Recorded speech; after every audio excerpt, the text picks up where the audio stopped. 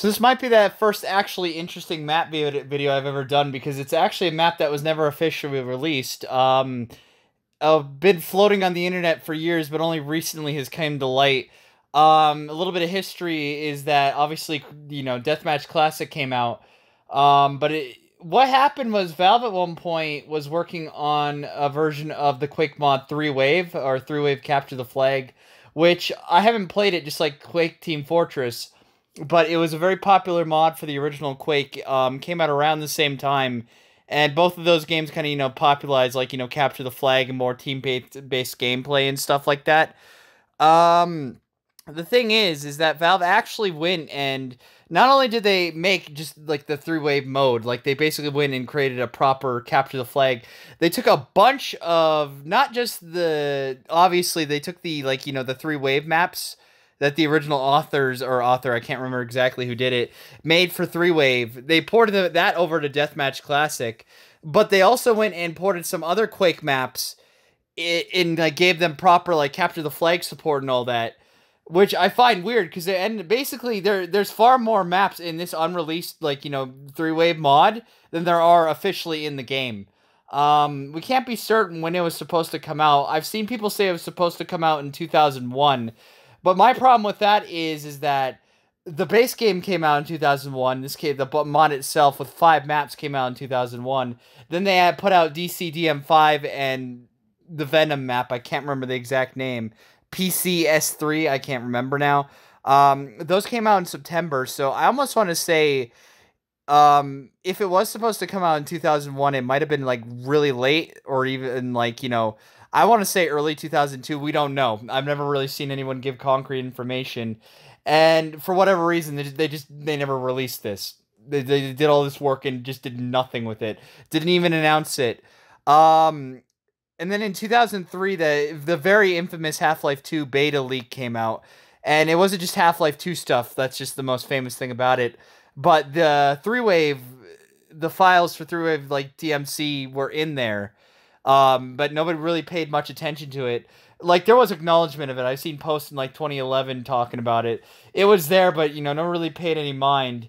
It wasn't until 2016 that someone uh, actually went who was well versed with how the Gold Source engine works and actually created a sort of uh, work together a functional version of three wave capture the flag, so you can actually play it with like the capture the flag and proper mechanics and everything. I'm not going to be showing you that because there's no bot support. It's as simple as that. I it would basically just be me walking around by myself. It's the same reason I'm not doing the capture the flag mode in opposing force. Unfortunately, I, it's not really showing off a map if I'm just walking. You can sort of get the feel for a map if you're walking around it empty, but you know, are you really getting the experience of even like artificial human beings? You're getting a more of an actual proper experience. However, because it's a mod of Deathmatch Classic these maps pretty much work flawlessly in you know deathmatch classic here. To to varying degrees um i'm gonna i think because i've only tested two so far. The second one i tested is mostly complete but we'll get to that when we get to it. Um i know this is a long ass introduction. So yeah if you're interested i don't think i'll provide the links to any of these fucking uh the three wave mod itself, just because I don't know, I still don't know what Valve's stance on this stuff is. It's kind of leaked out there. I, I'm kind of feel like da- I'm in danger just making these videos. So if I, I disappear off the face of the internet, you'll know why at some point. Uh, but yeah, anyway, I, am gonna shut the hell up and talk about the Slipgate complex here, which was the first, which was E1M1 in the Quake, and you know it's famous for being the first level in that game, basically outside the uh, intro. So they, they made they made it a capture the flag map. You like in three wave, you could play this and there'd be flags and everything. Um, and it actually works. That map is fully playable. It's as far as I can tell, it's done. Um, obviously, I can't show you here, but it works just fine as a deathmatch map. So yeah, you basically if you take the three wave like you know texture WAD, which is just one file, and put it in Deathmatch Classic, this map works perfectly. Yeah, I, am just I'm gonna shut the hell up and go into the map now. So this map isn't actually called first of all DC D, DMC DM1. It was actually called the Slipgate Complex. All the maps came, unlike in Deathmatch Classic, all the maps are just named after the original map. Um, I just renamed it because I'm a freak for like you know kind of consistency and it made me feel good about myself. So yeah, it's it, I'm, I called it D, DMC DM1 because I'm an idiot. Or E1M1, I'm fucking stupid, never mind. If it was DM1, it would be the bad place. I'm going off topic. So again, since this is based off a well-known single-player level, let's actually go in order here. Um, go back up. I think you actually have to hit that. I can't remember. Uh, so did um, Slipgate Complex was designed by that there John Romero guy, and in development it was called JR Base One because you know that was the first attempt at a base. Yeah, you can see the bots when they're not shooting each other don't really know what's going on. So it is pretty much 100% faithful to the original map. Uh, obviously, the textures are different and some of the aesthetics different, but this is basically the Slipgate complex. Right down to this secret over here, actually. Check this out. Fucking mouse is being a piece of shit. Um, something I just want to bring up while I'm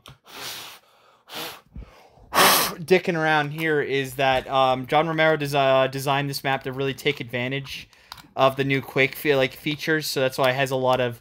That's why this whole open area exists. When he was designing the map, you just started out in that outside area there.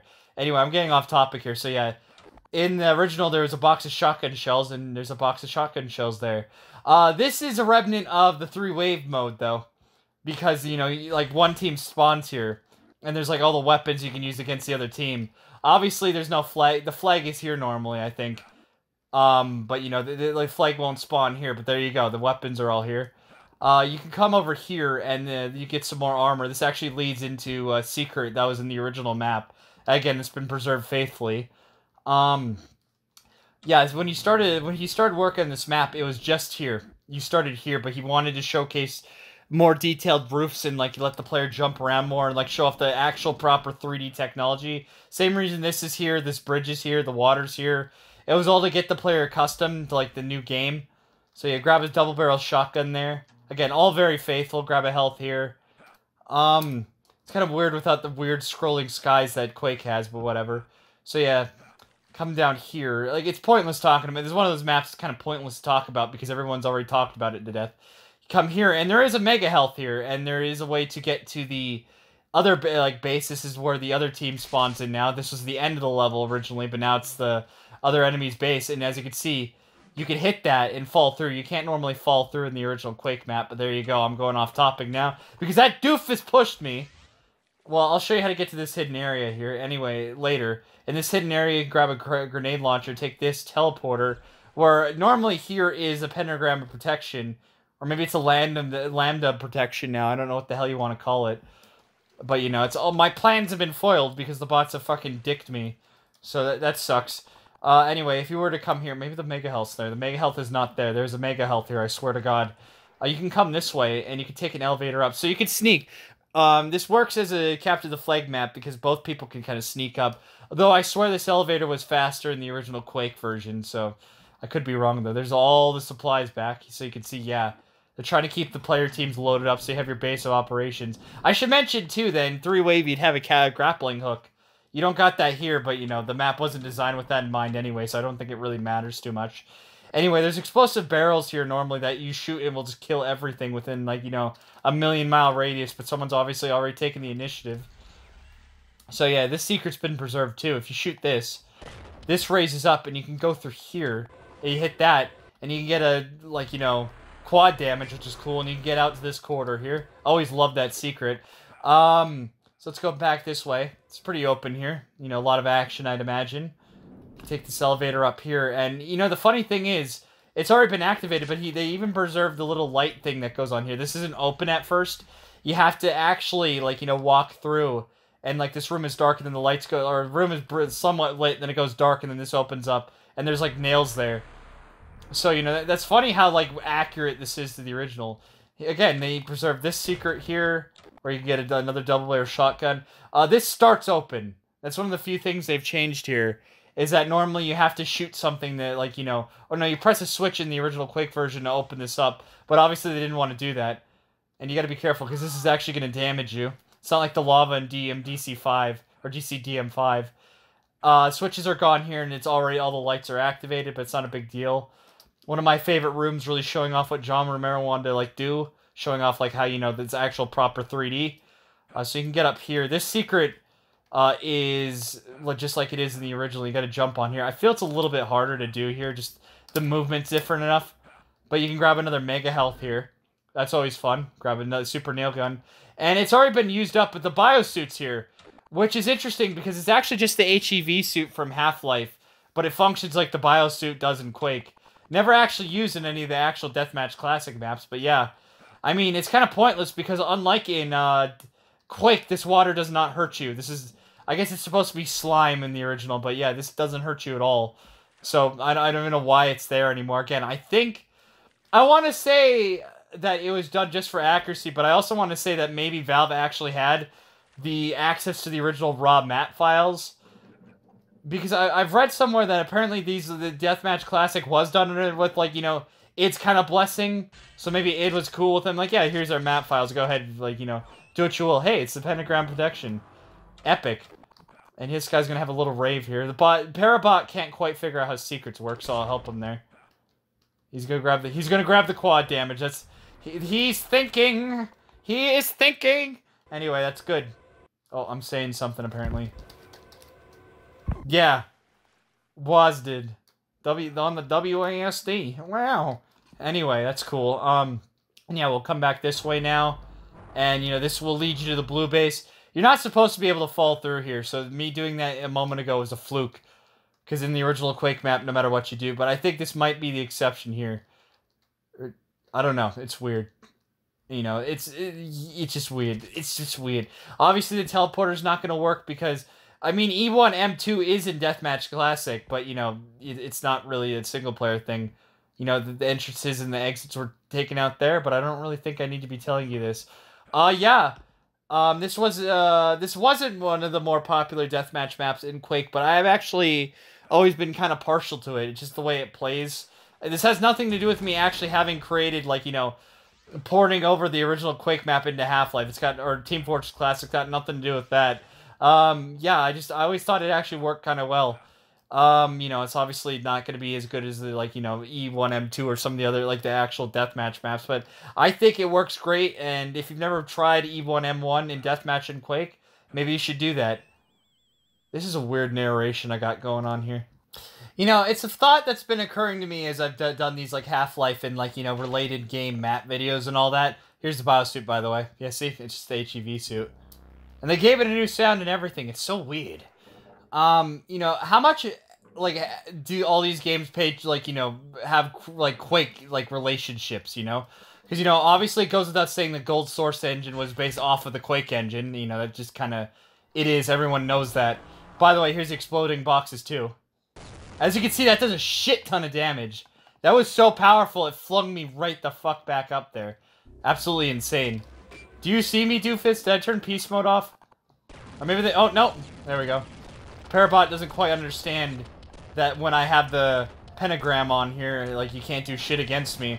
But anyway, so, like, not only does, like, you know, you know, the Gold Source engine derive from the Quake engine, but, you know, Half-Life, you know, like, you know, people what was I gonna say? Actually, I knew, like you know, Snark Pit was based off a map that Dario Casali made for Quake, so you know that that's something. Team Fortress Classic is a remake of a like you know a popular Quake map.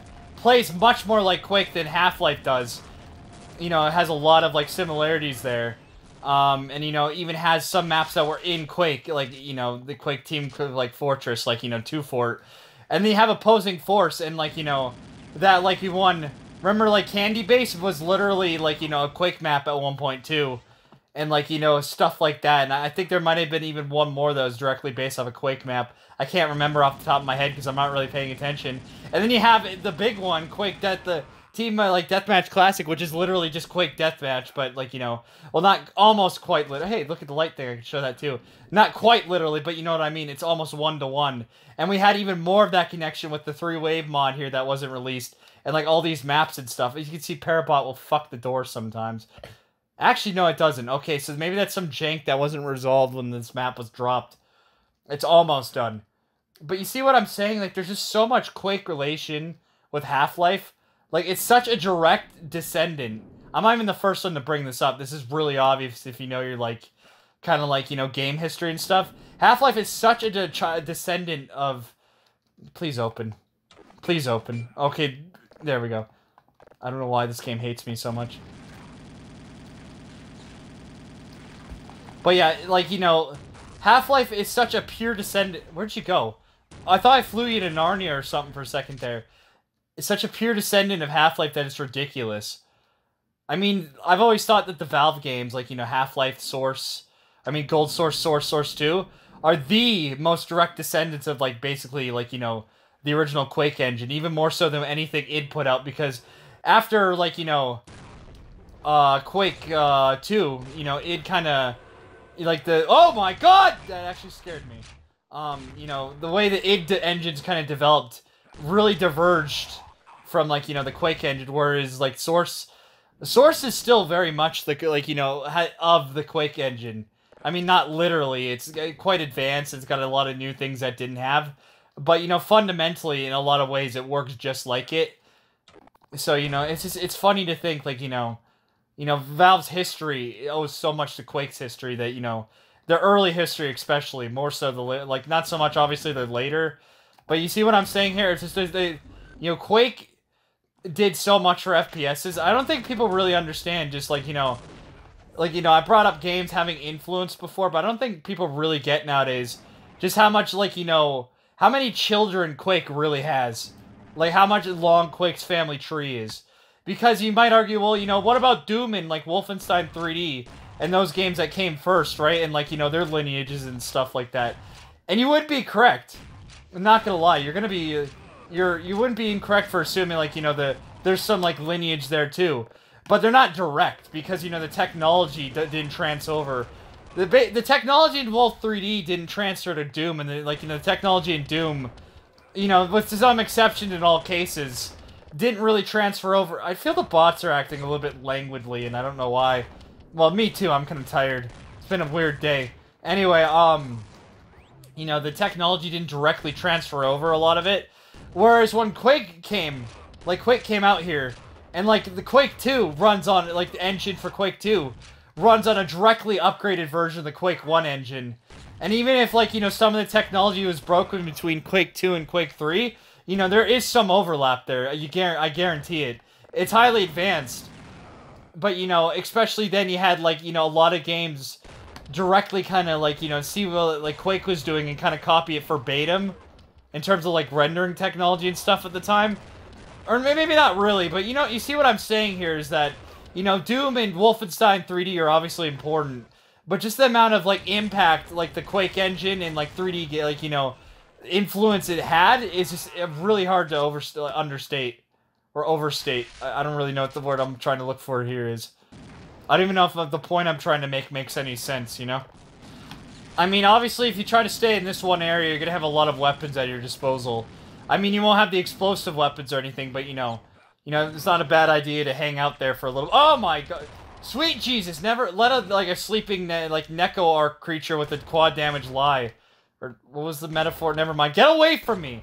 I don't have your purse! Uh, don't you just love it with the person you just killed spawns behind you? Love that, like, you know, spawn RNG. Well, it's all good, because I killed a detonator twice in a row there, so...